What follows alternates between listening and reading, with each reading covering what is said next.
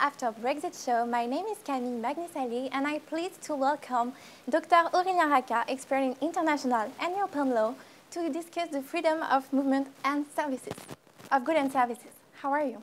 I'm fine. Hello. Thank you for being here. Um, Dr. Aurélien Raccah, what does the TCA provide regarding the free movement of goods and services? That is a completely new system and uh, uh, Actually, this is, um, it looks like a hard Brexit. So everything is, um, we have to re refix everything and there are new rules uh, for the exchange of goods and services. The impact was uh, in, in January this year was huge because actually there was a decrease of 27% of the export from the EU to the UK mm. and 66% of decrease uh, for the goods between the UK and the EU. So the first statement is that um, there is a strong change in the uh, trade uh, relations between the UK and the EU.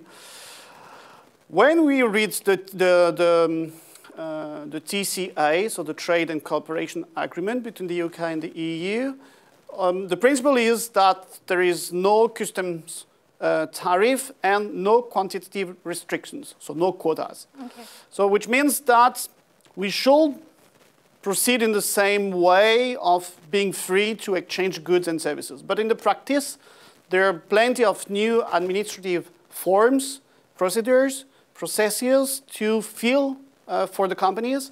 And it may explain why there was a, a, a huge decrease uh, this year uh, because maybe the companies, they're a bit scared mm. of those new forms and they have to adapt uh, their process inside. Yeah, it's um, completely new, so. Everything, yeah, yeah, everything is new. And uh, do you think that the UK is losing uh, its right uh, regarding the free movement of goods and services? That is very strange with the UK um, on many points, of course, but uh, this one is a good example because the UK has influenced in the 20, 30 past years a lot the EU uh, to open the market inside.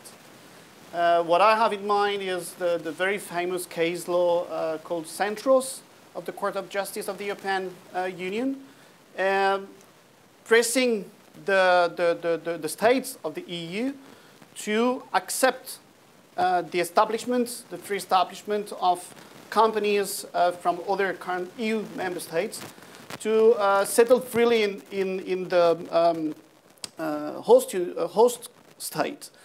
And uh, uh, now that they have opened very much the market, pressing the EU to, to be more opened, they're going out. And now they are coming back in their country to a new process. Mm. And so as I told you before, uh, the, the, the goods are not moving freely, so there are new processes to, to, to export and import. And uh, um, the, the, the, the, companies which want to settle in the UK, uh, they are considered as uh, third country uh, companies, and so, yeah, as foreigners. So um, even if in the treaty it is written that there should not be any discrimination and that uh, the British law shall consider um, in the same way the foreign companies. In the practice, they have to fulfill um, uh, the conditions as, as for any foreigner. Yeah, for non-discrimination. Mm. Uh, I have a question. What shall do the companies which want to make businesses between the EU and the UK? So uh, they have to reconsider uh, the process. So it depends what uh, what they uh, want to do. If they want uh, to, to export and import uh, goods, they have uh, to, to, to apply the new forms on the British website um, that is providing uh, on, the, on, on the, the, website of the British government. There are all the forms for import and export. And they have developed a new concept of intelligent frontier. And this concept of the intelligent frontier uh, is providing different steps, and there are uh, from four to six steps to fulfill, uh, from anticipating the customs and and sanitary measures, uh, the safety measures, and, and all the controls that are done on goods before uh, crossing the channel or any other border.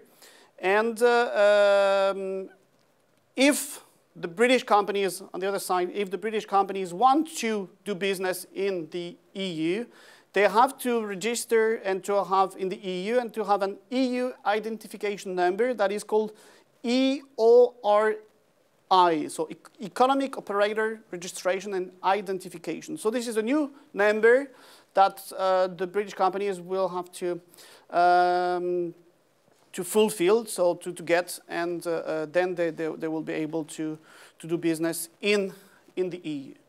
And uh, fishery has been a key topic uh, during the Brexit negotiation. What has been uh, decided? Fishery was a sensitive political issue because um, uh, the, the many European fishermen are fishing in the British Sea. Uh, that is uh, one of the most productive one yeah. in, in, uh, uh of the continent. So um, applying a hard Brexit to fishery uh, would endanger uh, the fishermen a lot, the European fishermen. So the European Union has pressed a lot to have a progressive implementation of, the, of Brexit to fishery.